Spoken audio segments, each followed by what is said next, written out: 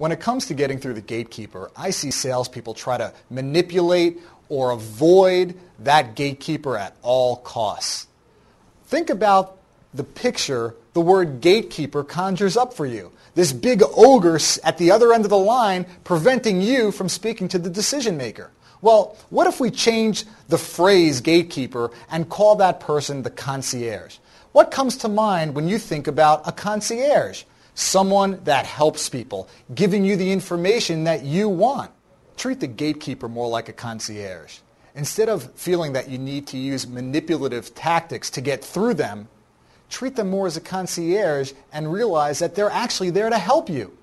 Doing so will relieve the pressure for you to try to get through them. Instead, simply just ask for their help. Here are a few strategies that will allow you to befriend the gatekeeper every time you make a cold call and need to get to that decision maker.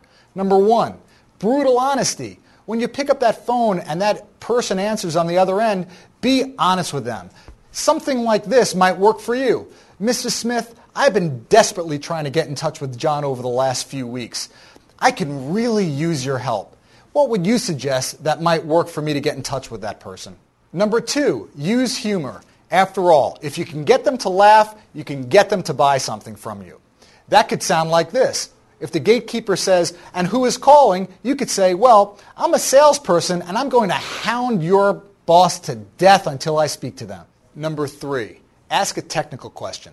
For example, if you sell printing, when the concierge asks what this is in reference to, you can respond with, well, we're putting together a sample brochure for you and wanted to know the dimensions of the collateral material that you're currently using for your marketing and selling pieces, your color scheme, the number of colors, or whether or not you wanted to do this in black and white. Number four, they're expecting my call.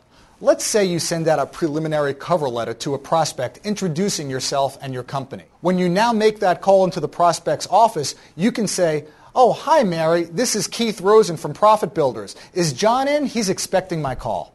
And finally, use return receipt when sending out emails. Let's say you spend a lot of time, like many salespeople do, in front of your computer. Well, by checking off that little box return receipt in an email before you send it out to a prospect, once that prospect opens it, you're going to get that return receipt sent back to you. What does that tell you? The prospect is in their office. So pick up that phone and go ahead and make that call. Using these strategies will help you make a new friend, the concierge.